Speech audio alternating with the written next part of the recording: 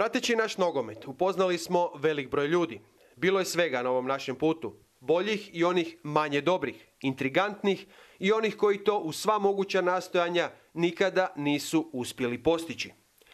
U godini velikih nogometnih uspjeha, kako reprezentacije, tako i Dinama, listajući kalendar sjećanja, ako zaista želimo staviti ruku na srce i biti pošteni, bez obzira na naramak problema koje nosi sa sobom, Zdravka Mamića su u vrijeme opijenosti rijetki ili se malo njih uopće sjetili. A znali su ga opsjedati za ekskluzivu, za klik, za like više. Mamić koji se nalazi izvan dohvata pravosuđa tražeći opcije kako srušiti sve optužbe, što mu se stavljaju na teret, odvojio je nekoliko minuta za naše gledatelje. Kako izgleda dan Zdravka Mamića sada? Pa evo sad sam se vratio sa šetnje. Znači svaki dan napravim ujutro ovaj 10 km brzoga hoda.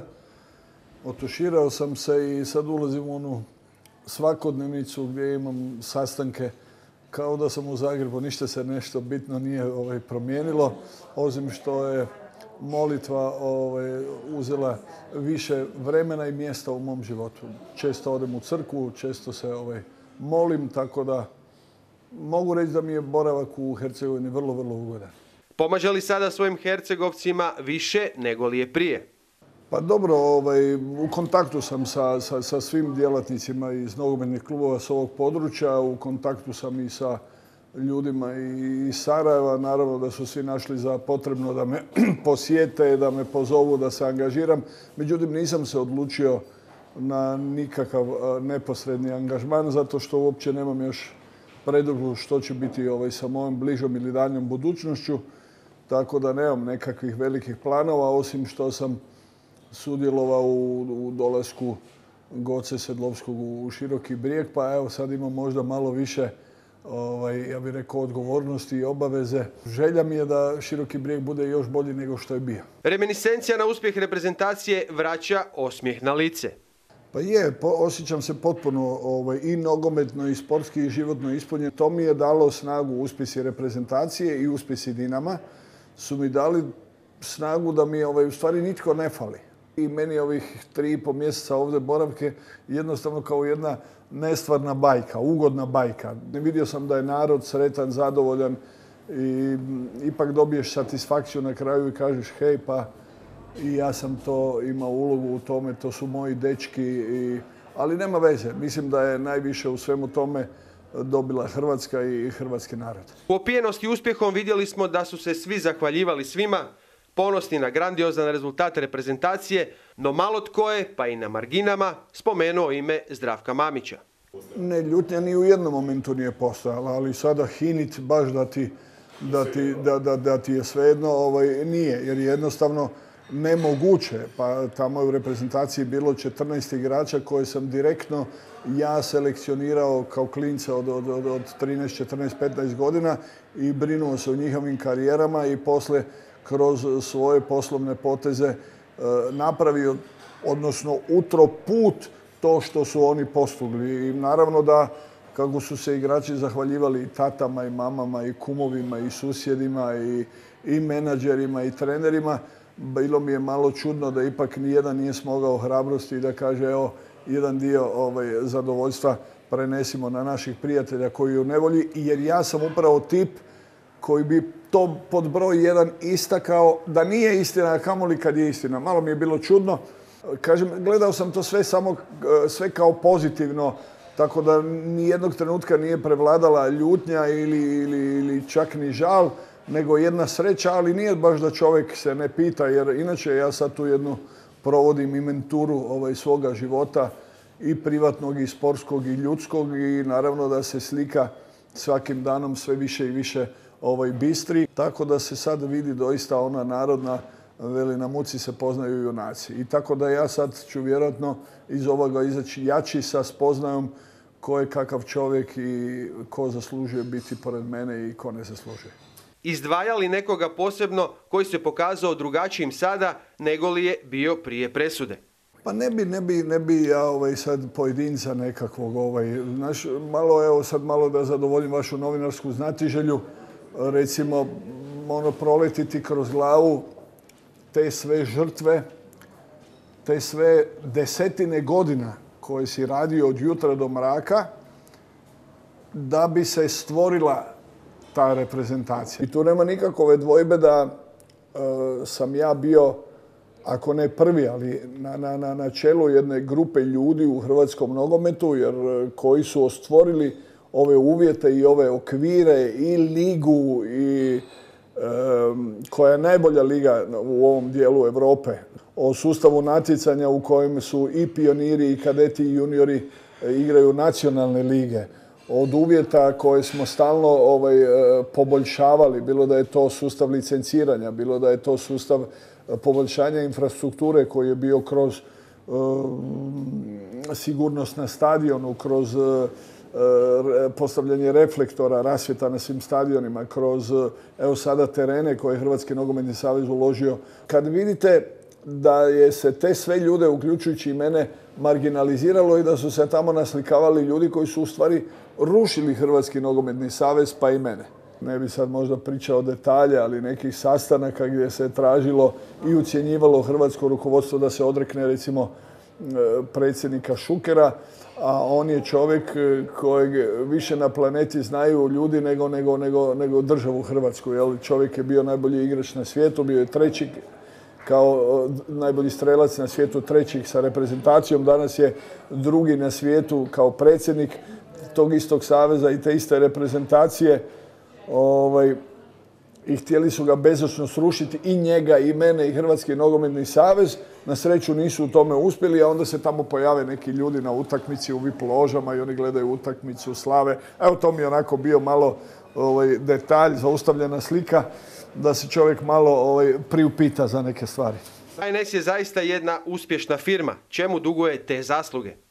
Vi nemate ni jednoga člana izvršnog odbora Hrvatskog nogometnog saveza koji nije 30-40 godina ovaj, u, nogometu na svim mogućim funkcijama i zato su ti rezultati i vidljivi. Jer vi ne možete očekivati da će doći sad jedan e, nogometaš koji je jučer objesio kopačke u, u, klin i da će on voditi nogometni savez. Jer on nije prošao one temeljne postulate funkcioniranja sporta. Oni još to uvijek gledaju, misle da su na Stanford Bridgeu, da su na, na San Siru i, ovaj, i pričaju kak, su naši stari španali i kak bi mi to napravili. Međutim, uzmi neki klub koji u nevoljama, u, nevolju je, u nevoljama je veliki broj klubova, pa onda ti investiraj, pa radi, pa izgradi. Nema problema, budi privat, vlasnik privatno bilo koji kluba u Hrvatskoj. Zlatko Dalić, tvorac uspjeha nogometaša, u igri je za laskavu titulu najboljeg na svijetu.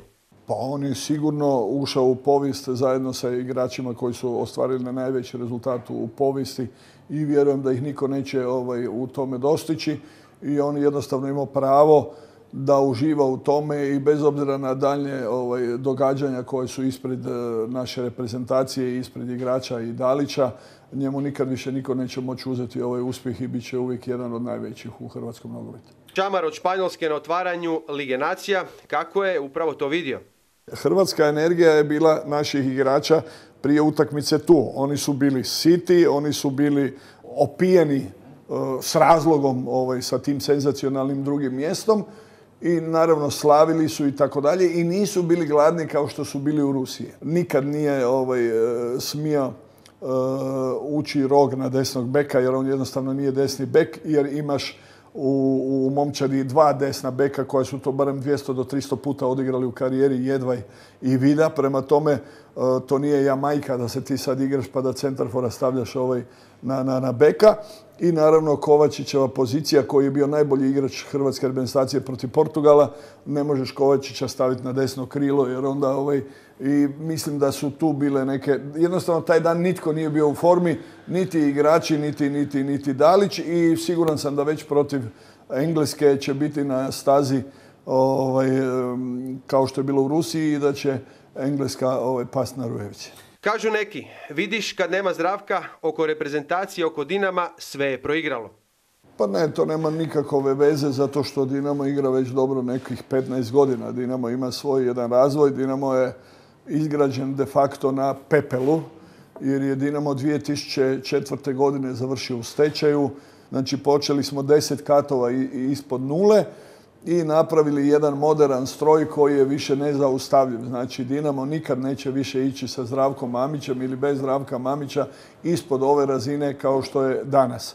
Dinamo ima menadžment i zaposlenike koji imaju silno i golemo iskustvo i više ne ovise o jednoj osobi. Ona može biti naravno bolja kroz jednu osobu ili lošija kao što je danas bolja recimo za Bijelicu jer Bijelica je sigurno jedno od e, najvećih pojačanja ovaj, Dinama jer on je uspio ono što su rijetki treneri u Dinamu uspjevali u nekim kratkim periodima da je napravio od momčadi grupu.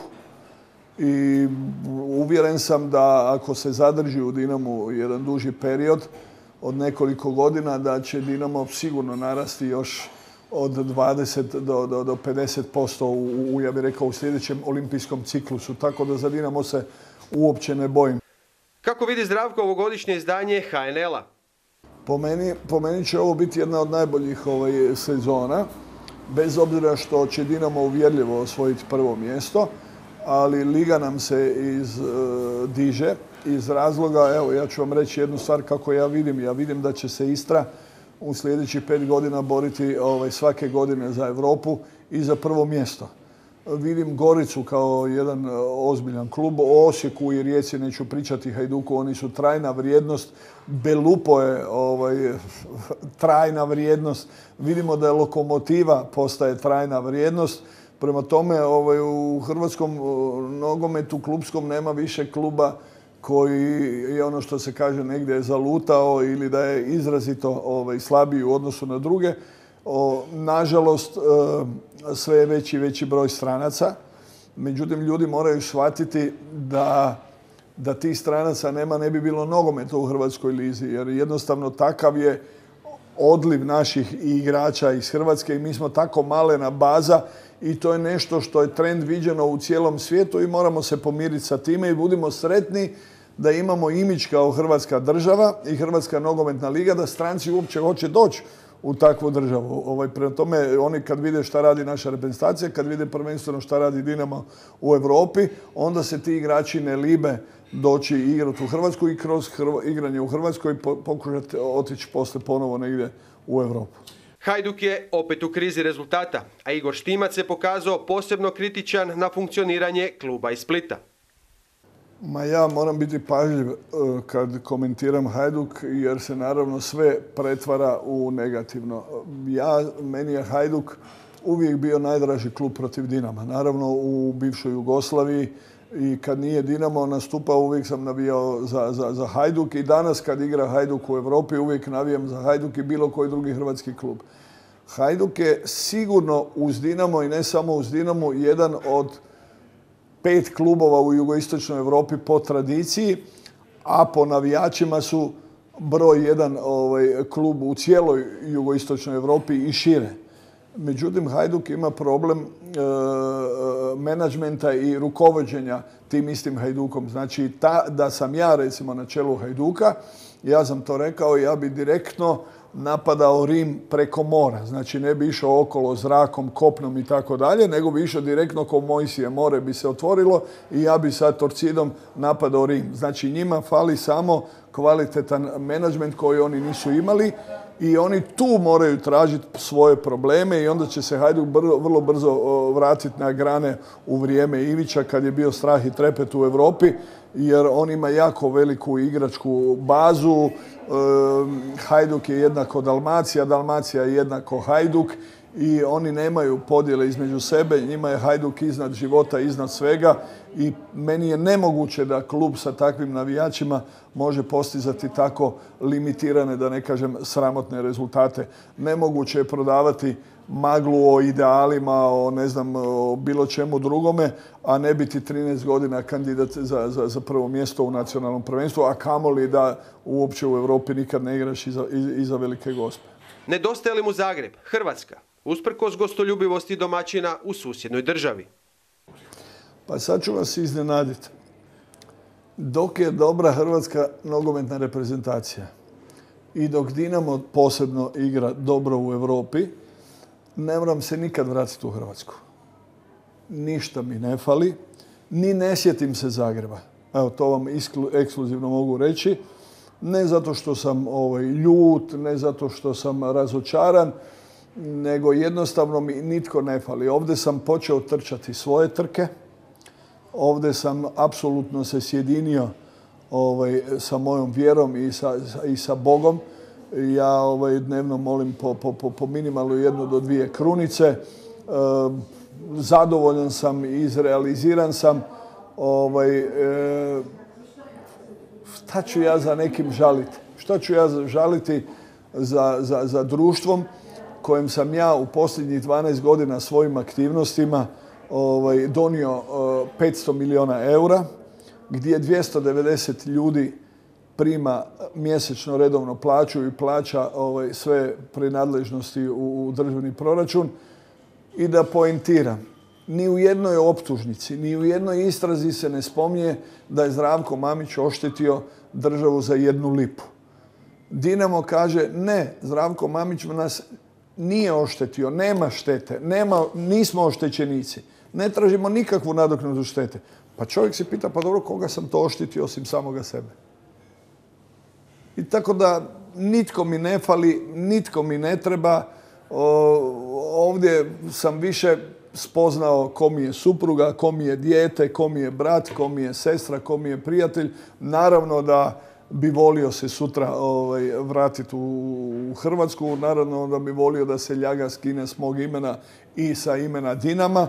Međutim, vjerujte da mi se dok Dinamovi rezultati su dobri i dok su rezultati dobre reprezentacije, ne fali mi apsolutno nitko. Gostujući u emisiji Sport nedeljom prije koju godinu, tekst pjesme, kažu mnogi, moguće da je dodatno zapalio one koji su Zdravka htjeli eliminirati iz nogometa. Je li sada s otklonom požalio što ne može niko ništa jer jači je od sudbine? Pa nisam zažalio jer sam ja veseljak, iako mi kažu da je to bio okidač ta pjesma i baš te nedjelje da je bio okidač, da su rekli sad ga je više dosta, sad ga moramo ovaj, uhapsiti. Ali sad imam jednu ovaj, pjesmu koja mi je hit i s kojom se valjda i svako veće ovaj, idem spavati i budim ujutro, a to je od Halida Bešlića.